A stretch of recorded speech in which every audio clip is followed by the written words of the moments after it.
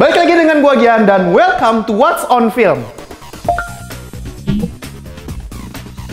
Kalau misalnya kalian moviegoers atau gamers, lu bisa cek website kita di kincir.com karena di situ kita ada pembahasan soal dunia itu dan langsung lah cek aja ke websitenya. Nah, kita masuk ke dalam What's On. Tom Hardy bakal kembali dalam sequel Venom.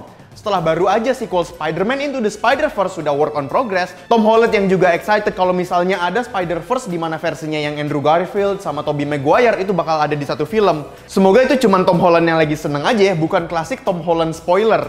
Meanwhile di Sony, Amy Pascal, produser dari Spider-Man di Sony, bilang kalau Tom Hardy bakal kembali menjadi Venom karena performa dia yang sangat luar biasa menjadi persona Eddie Brock.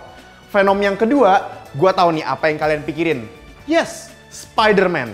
Ketika ditanya soal apakah dalam sequelnya bakal bertemu dengan rivalnya, Spider-Man, dengan simple si Amy menjawab, semua orang pasti suka ngeliat itu. Kita nggak bakal pernah tahu dan nggak akan tahu sampai suatu hari yang cerah, mungkin kejadian.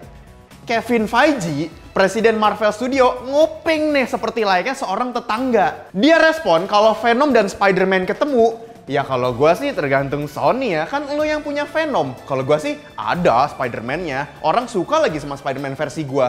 Gue curiga mereka tuh punya grup WhatsApp. Ya bis kondisinya bisa menarik gitu. Tokoh utama sama rivalnya ada di beda perusahaan tapi satu franchise kalau misalnya beneran kejadian, share nih apa yang terjadi ya kalau misalnya Tom Hardy sama Tom Holland bisa satu film sebagai Venom dan Spider-Man. Share pendapat kalian di kolom komentar bawah. Kalau misalnya kalian suka dengan seputar film dan game, lu bisa cek ke website kita di kincir.com. Di situ ada pembahasan soal film dan game, lu bisa langsung cek ke websitenya.